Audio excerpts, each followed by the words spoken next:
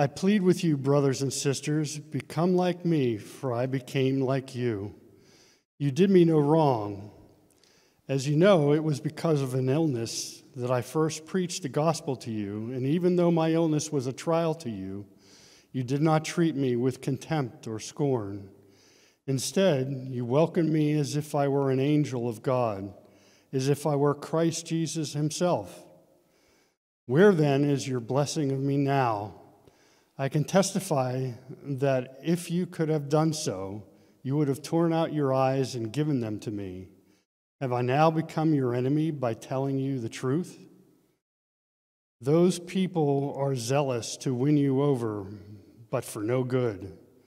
What they want is to alienate you from us, so that you may have zeal for them. It is fine to be zealous, provided the purpose is good and to be so always, not just when I am with you. My dear children, for whom I am again in the pains of childbirth until Christ is formed in you, how I wish I could be with you now and change my tone, because I am perplexed about you. Man does not give by, live by bread alone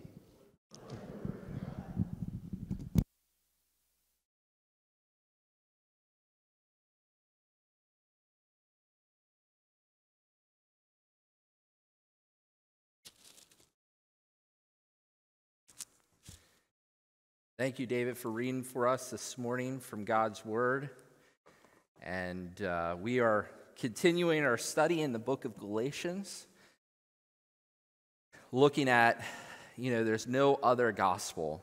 You know, when we think about what is God calling us to believe, the good truth, the good news, there's just one. And you know, Paul's been laboring to show that to the Galatians. He's afraid that they're going to abandon the gospel and then abandon God himself and lose out on finding life and having inheritance. So timely for us today because there's so many messages, you know, that are around us. So many things that are calling us to invest ourselves into a certain product, into a certain belief, into a certain way of life. And so we have to be really thoughtful about what is it that we believe, what is it that we're living for. And what you heard today from Galatians 4 was a parent's concern for his kids. A parent's concern for his kids. I think about when I was 12, I was talking with uh, Esther this morning, and she said that she started working when she was 12, 13. And what's interesting is I also started working when I was 12, not by choice. I, my mom came to the middle school, picked me up, and I thought I was going home to play some video games and eat some snacks and relax. What I found out was I was on my way to my uncle's uh, mechanic shop, and I was going to put in my first day of work. And I remember I mean, you would think it was The Exorcist. I, that's probably what my mom thought. I went crazy. You know, I just was so irate. You know, how could you? And I knew my uncles. You know, my, I was going to go work for my uncles, and I knew how hard they push, you know, to work. I grew up in a family, maybe you grew up in this type of family, where having a hard work ethic was at the top of the list. And so you were going to get pushed. I mean, I, I'm 12. My uncle is in his 30s and he was an amateur boxer, always really took care of himself. And it was always, let's see who can carry more steel, you know? Who was going to carry more steel? Not I wasn't, I, right? I was always going to lose out in that competition, but he pushed me and he pushed me. And I grew up around people, and I'm sure you did too, folks who really wanted to invest in you, people who really cared about you, parents. You know, the reason my mom took me to work was she cared about me. I didn't see it at that time. I thought she hated me. but she didn't hate me. She wanted to invest in me, and she knew I want to, I want to give him a good work ethic. And parents, we, we can want that. I, I meet so many people, and I, I probably think you're like this here too. I want my life the summation of it to be that I invest in other people. I help to enrich their lives. I help to make them better. I want that for my life. And often, what happens though is people, man, they have their own will. Isn't that hard? They can decide and choose to do something other than what we, you know, see. And, and, and maybe we see something really good and, and we're calling them to that, but they have a choice and there's some anguish there. I, I see that play out all the time with parents and their kids. Yeah, we want this for you. We want to invest in you. We want to do good to you. But the, but the child, maybe you've had this. You see your kids walking in a direction that you don't want them to walk down. Our grandparents, you see your grandkids walking in a direction. Maybe you, you say, Man, I know the direction. I know where they're heading, and it's not good. And I want to keep them from it. But they keep going that way. There's no way, right, short of doing something illegal like locking them in their bedroom even then, right, they're going to escape through the window. And so you, want, you want this, but they have, they have a choice, and it could cause such anguish in your heart. How many parents here, grandparents, you felt anguish over your kids or grandkids, a choice that they've made, a decision that wasn't what you knew was best for them, what would really help them? Uh, I see this also play out in friendships. You're in, I, I've seen it play out in my own friendships where you want your friends to succeed. You want them to be the best version that they can be of themselves. You want them to excel, but you see them making bad decisions and poor choices, and you're trying to help them, but they push aside your advice. Anybody here, you've been in that situation where maybe they've pushed aside your advice, or maybe you're the one that's pushing aside the advice. There's joy and pain in friendships, right? Joy and pain. That's what we're going to look at this morning. I think what we see here.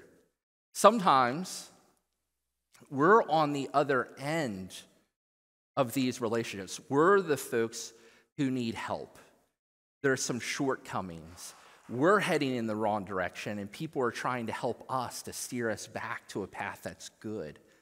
Sometimes that's, that's us. We're not the only ones calling other people to a place that's good, that's healthy for them. Sometimes we need that ourselves. But we can push away advice, we can push away help. There's probably multiple reasons for that, but one of the reasons is we can be prideful. We can think we, we don't want to hear correction. There's a reason why the Proverbs are filled with the refrain that the foolish person hates rebuke and correction, but the wise person loves it. It's because we can push away that. You know, we, we really want to know what's right and what's best. We really chase after this idea of perfection, but we fall short. We might need maturity in the way that we think, in the way that we live. And when we think about that maturity from the Bible standpoint, from what Scripture has to say, it's Christ formed in you. When we talk about maturity, when we talk about growing, it's Christ formed in you. Every Christian in here, you need a mentor. You need someone discipling you. You cannot do the Christian life alone. Every single Christian in here Every single Christian outside of here, all around the globe, every single Christian needs a local church, a biblical community to help. Because, you know, we struggle. We struggle with Christ being formed in us. We are called to be both disciples and disciplers. Both there's two sides of that coin, and we all are called to that life. Think about Jesus' command. What does he say? Go and make disciples. Yes, he was talking to the original disciples, but he's talking to every disciple of his. Everyone who has decided to follow Christ, Jesus has transformed you into a disciple maker. That's his calling, his command for your life. It's not a great suggestion, it's the great commission, the great sending. And so we, we got to do it individually, but then every church is called to go and make disciples and to baptize them and to teach them to observe all that Christ has commanded. Sometimes, though, we can't control, you can't control if someone is discipling you. I don't know if you've ever been in a place where you thought, I wish somebody would really invest into me. I feel like I keep giving out. And I, I, wish somebody would pour into my life. You can't control that aspect, but what you can control is are you going to disciple? Are you going to pour into others? Are you going to follow Jesus' way of living that we see here played out with Paul? Caring for others, take a look at verse 19 of chapter 4 in Galatians. He says that he is once again in the anguish of childbirth until what? Christ is formed in you. so, this is the, the big idea here is Christ formed in you. That's discipleship, really caring for others. That idea formed is the idea of development, and what Paul wants you to think about here, the analogy that's behind it, is a person that is taking shape and developing in the womb. So think about the stages of a person developing in the womb, there are stages to it. This is the idea of Christ being formed in you. The same way that a baby is formed in the womb, Christ ought to be forming and taking shape in you. So, God's will for your life is not just that you go to heaven, that is part of His will for your life. But His will for your life is that Christ be formed in you take shape. Just as a baby develops in the womb, Christ ought to develop in you. And we're going to look at more of what that means here. So, Paul's desire, what he's laboring toward, the end to which he's gone, is Christ formed in them. And I think this is a, this is a good point because we're going to be talking about a lot about caring for others, or the word that's often used is discipleship. So, what are we laboring toward when we think about caring for other people? And I've been around enough people to know that some folks, it's just that this person be the best version of themselves or that they have a successful life. But the reason, Christian, why we labor, the end to which we're pointed, is that Christ would really take shape and develop in a person that they know Jesus and they're growing to be like him. So when you think about Jesus' command to go and make disciples, that's the end to which you're laboring. Christ forming in them. Let's continue the Bible's analogy here of a person developing in the womb. Before a person begins to develop in the womb, what has to happen first? Conception. I heard somebody say it. Same way here. Let's continue with the analogy. If Christ is to take shape in you or in others, there has to be spiritual conception. So, does the Bible help us in some way to understand spiritual conception? What does that look like? And the good news is it does. Remember the parable of the sower and the seeds. So imagine a farmer, seeds in his hand, and he's scattering those seeds, and the seeds fall onto rich soil and sprout. That's what we're talking about conception occurring. It happens when those gospel seeds fall onto the heart, the rich soil, and that sprouting happens because the Holy Spirit begins to use that message and convicts us and brings us to a place of repentance and belief. And then by faith alone, that person hears the message and responds. They receive and rest in Jesus as he's offered to us in the gospel. And new life happens, conception occurs. This is what we're talking about with spiritual birth, and that has to happen with every person, with ourselves and with, with those, if they are to know Christ, if they're to have relationship, if Christ is to be formed in them. And so, our labor field, imagine, continuing with the analogy, you're a farmer.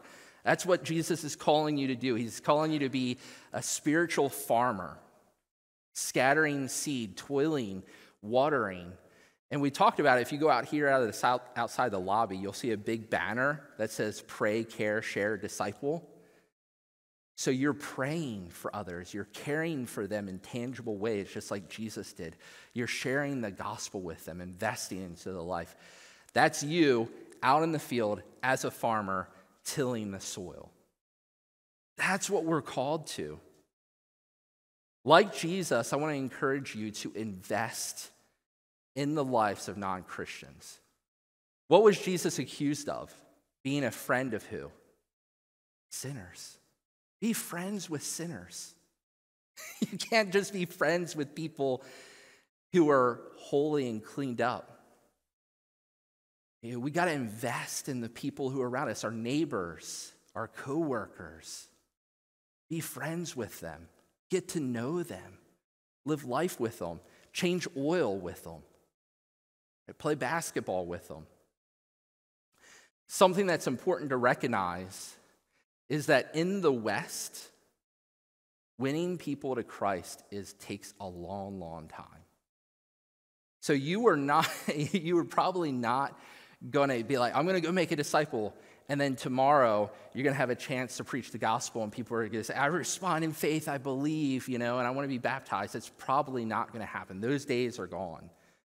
In the West, it takes time to build those friendships. And so it's all right if you're building those friendships and it's a while before you get to a place where, you know, I can really share the gospel in a way that helps them to understand. You might, you might do it in pieces and not all at once, but you're pouring into the lives of others. We're called, we're called to plant and to water. But who is it that gives growth? God. That's his business. It's really crucial that we understand what our responsibility is.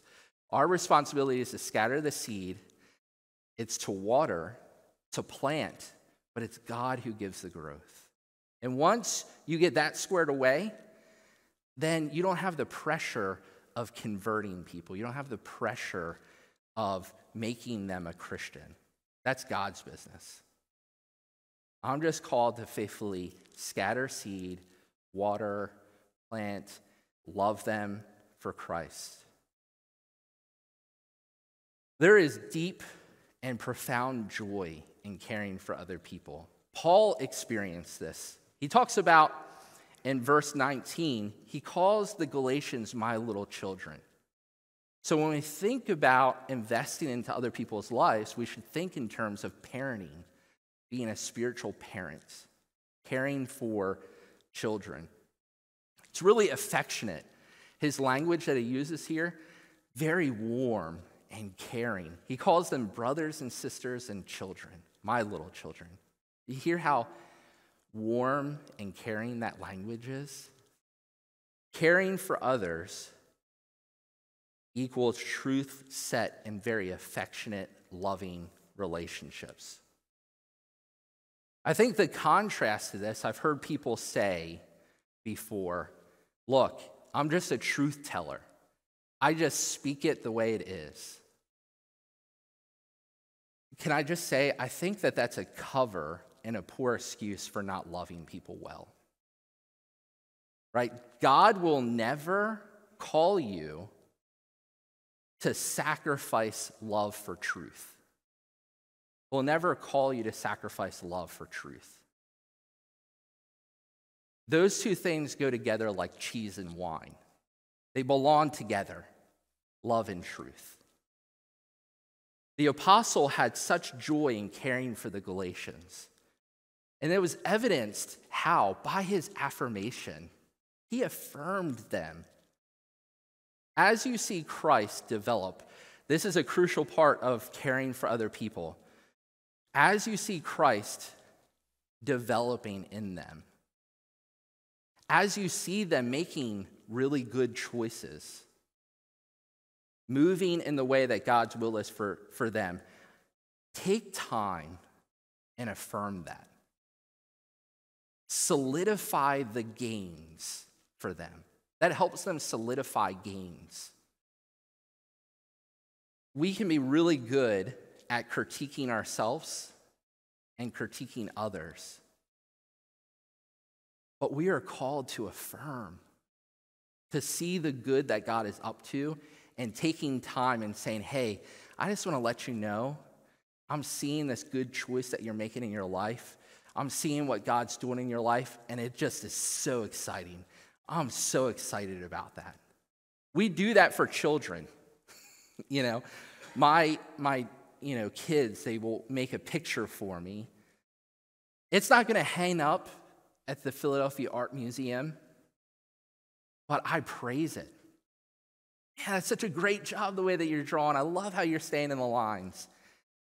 I love, you know, the colors that you're putting here. I love how you've, you know, put fingers now on, on hands. People are more proportional. You know, so we get really specific about our affirmation. And why does that stop? Why do we stop affirming people just because they reach a certain age? Shouldn't that continue throughout all of our lives? We're affirming people, praising them, giving thanks for the work that God's doing in them. And I'm not talking about flattery, because that's what these false teachers were doing. They were just full of flattery, I'm talking about genuine affirmation. That's part of caring for other people. Paul affirmed their joyful service. He affirmed their meeting needs sacrificially. He affirmed their heart of love and concern. He affirmed their reception of the gospel at first. He, can, he also affirmed how they honored leaders and cared for them. So, five ways that I identify that Paul took time to affirm them. I want you this week find, you know, the, the people in your life, look for five ways you can affirm them this week. You know, you see them making progress in Christ, really growing and developing, making good choices. Take time, affirm them, praise them for five things. Say, man, that's, that's great. You're doing awesome. Paul does write to correct, he writes to warn, he writes to teach them, but also to affirm. And I thought about this affirmation is another way. You can go about it in terms of, at times we need re- rebuke and correction, but affirmation is just a positive way of teaching people. So you can go at it from either way. But people respond really well to affirmation. So I encourage you to go in that way. Get involved and care for others. And it's so rewarding. it's so rewarding when you care for others and you see them making progress. Isn't there joy in that? Think about, you know, for, for you parents, grandparents, when you first saw them take steps, how exciting was that? You were there for it. It's the same way in discipleship. It's really joy, joyful when you're investing in people and you see them growing, you get to be there for that journey. There's great joy, but there's also pain in caring for others. I don't think that probably needs to be said. Everybody's probably had some anguish in caring for somebody else. Paul compares it to labor. I was there for labor. I did not have to go through labor. And so but being a bystander, being somebody who was there holding Sarah's hand, I, you know, I, I can relate now to what Paul's saying. Labor, you know, there's pain, there's anguish there. But you're, you're going forward because you know at the end of that pain, there's rich reward. The child is born. You get to hold that baby. Paul's in labor, he's in anguish for the Galatians. Helping Christ be formed or take shape in others is really laborious and painful. There's relational and emotional pain that's there. For them, their relationship was really good, but then it kind of turned sour. There was opposition. They started to consider Paul an enemy for sharing the truth. In your life, if you think about friends, if you think about family members, have you ever had a really good relationship with them, but then all of a sudden, because you shared truth in love, you found yourself maybe as an enemy? Or there was some distance that was created because of that? There's emotional pain that comes with caring for other people. Because, as we said, we, we as sinners, we don't, we don't respond well to truth. Our pride kicks in. We distance ourselves. We become hostile. We start to oppose it. And that can happen as we're caring for other people and helping to invest in their lives. Paul, as a, as a parent, is speaking truth, but now finds some distance and coldness there. But it doesn't stop Paul from sharing truth in love with them and gentleness. And I encourage us to follow his example. Don't let a person's response to you sharing truth and love stop you from sharing truth. You know, we Paul here, we should not only follow his example, but that was really Jesus' example. He continued to share truth.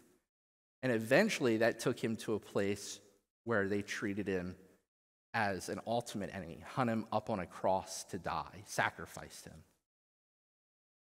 And so it shouldn't stop us from caring for others in that way. Caring for others, and we see this right at the beginning. Paul says, I'm entreating you, I'm urging you, I'm pleading with you to come in a certain direction, a healthy direction.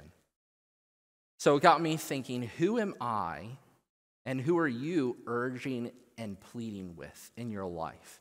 Is there someone that you just have a heart for and you have a heart for God's truth and you're urging and pleading with them to walk with God, to know Him, to delight in Him, for Christ to be formed in them? We should have people like that in our lives that we, we feel that way toward. And then, you know, but what are we entreating them toward? What to what end? To do what? Is it just to be a good person? Or is it to really follow God's will for their lives? Because we understand that's best, that's good for them. And so that entreating, that urging has a, an end. That they would know Christ, know the gospel, and Christ would be formed in them. And the reason that we do this is because we realize what's at stake that if a person doesn't come to believe and trust in Jesus, if they don't learn to receive him and walk with him, they're cut off from the author of life. They're cut off from the source. Jesus calls him the bread of life or the well that never runs dry, this living water. We recognize that it's like life and death. And so that's, you know, the, what's at stake is their spiritual well being, their good. That's why we're involved in this work. God, just as God will never have you sacrifice love for truth, God will never call you to sacrifice truth for love. So they go together like road music, like road trips and music, right? Those two things go together. Truth and love go together. So, our goal is Christ formed in others, developing in them, taking shape in them. And the Galatians needed Paul to be involved in their lives, to speak truth to them. We need other Christians to, to help us to see when we've kind of ventured off the path and we need to be called back onto God's path. Wise people listen to correction, but the fool closes his ears. How do we how do we spot maybe when people venture off? Maybe how, how do we spot departure, gospel departure? Well, it happens when we begin to listen to and live, I think, purely moralistic, good lives. Like that's, that's really what we want. Apart from knowing God and enjoying Him, we just want to be good people. And I think that's the message of our culture is to do good, to, to be good.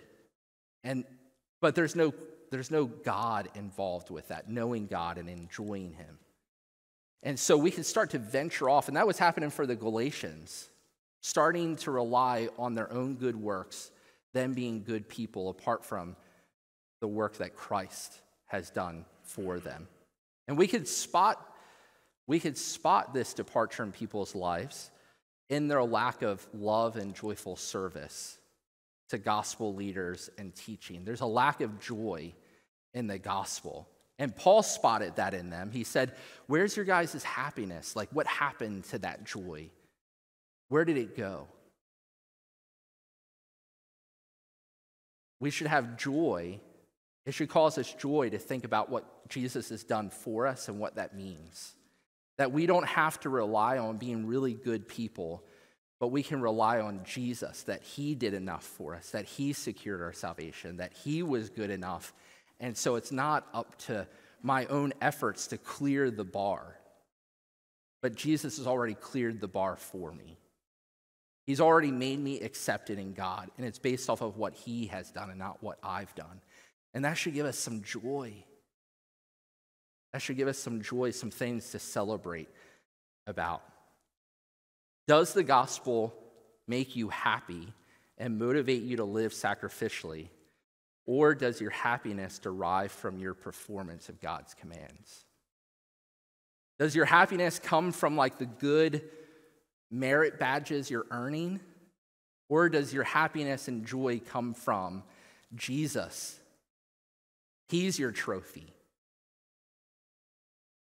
He's your hero. And so, where, where does it come from, yourself or from Him? And we can usually spot it in joy, the lack of joy that comes over the gospel. So, we're called to labor for the spiritual good of others. And this involves the work of making disciples. Discipleship is really about the art, you could say, of imitation. Paul says in verse 12, if you look, chapter 4, he says, Become as I am. In 1 Corinthians chapter 11, Paul says this He says, Imitate me as I imitate Christ. Isn't that kind of bold? But that's what discipleship is. Discipleship fundamentally is the art of imitation. Actors do really, they, they do impressions. And I don't know if you've ever seen Bill Hader, famous comedian, he does great impressions. But they could take on a person, you know, their voice and their mannerisms. And you're like, oh, I could see who that is. You know, people love to do Jack Nicholson. I could see Jack Nicholson, you know, he's doing a really good job with it.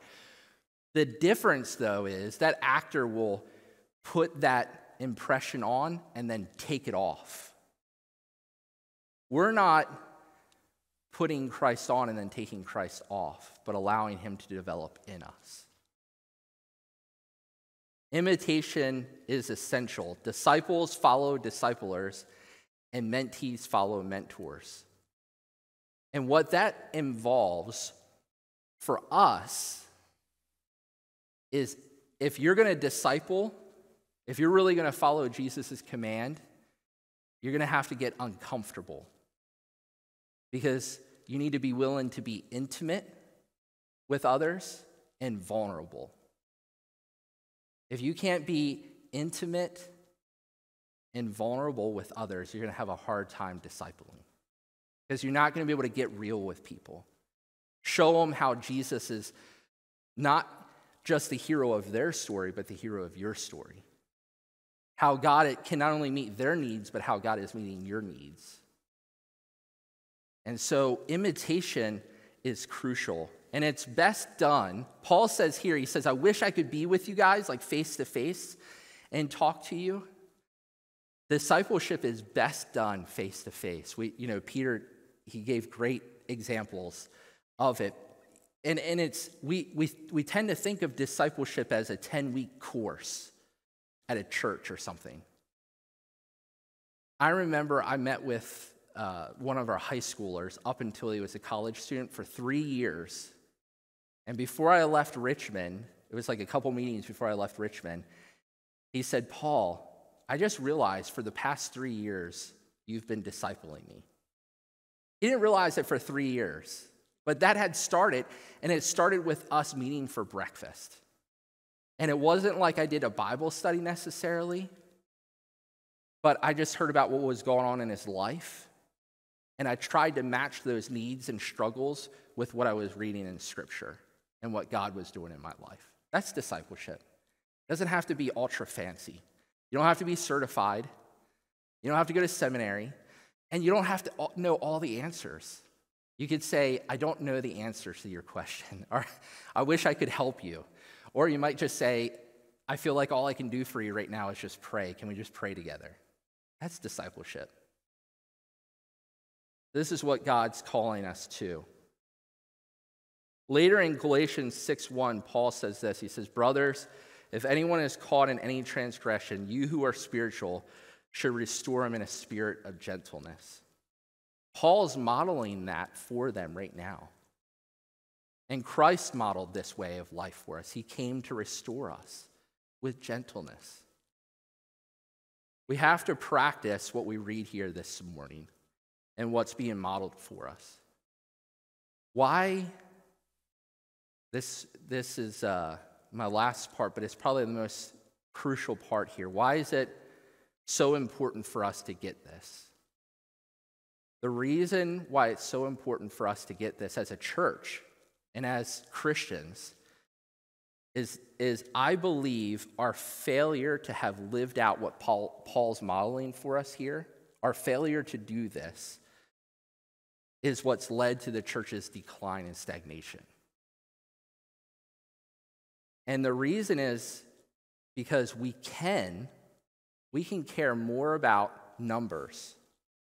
We can care more about programs. We can care more about performance. We can care more about buildings than actually discipling others. We want to program it. But discipleship, look at Jesus. He never threw a program, he never threw a VBS but he discipled people. So we're talking about a way of living. And if we fail to embrace what we're reading here, what Paul's doing, the church will continue to decline and stagnate. What is a disciple? We have to go back. We need to take a break from all that noise and refocus on the basics. What is a disciple? How can we be a good disciple? And how do we make disciples? This is a question that we need to, you know, we need to ask this, these questions as a community and answer them as a community. There's such joy and there's such pain in caring for others, but we're called to labor for the spiritual good of other people. So I encourage you don't give up, keep loving, caring, speaking God's truth, keep seeking for Christ to be formed in others and develop and take shape in them. Let's pray. Father, we thank you for this morning opportunity to consider the pain and the joy of caring for other people, of seeing Christ uh, take form in them, to develop in them, and take shape in them. God, we, we pray that that would happen for us, that Christ would develop and take shape in our attitudes. We see Jesus, he did not come to serve or to be served, but to serve and to give his life as a ransom for many. I pray that that attitude would become our attitude. His attitude would develop and take shape in our lives. God, we can't do this just by pulling ourselves up by our own bootstraps. It's really this, your spirit at work in us. We pray for the Holy Spirit to really do his work, clean house, transform us. God, we put ourselves underneath your care, underneath your discipleship. We, we just, we're praying that we would have a true heart of love for you and devotion for you, a de- love and a devotion for others, that we would speak truth and love and care for them well, for your glory and for their good. Amen.